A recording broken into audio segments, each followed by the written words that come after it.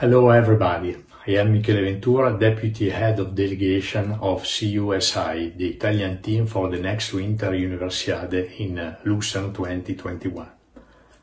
In our history, the Winter Universiade represents a great moment of cultural and sportive growth for the Italian university students.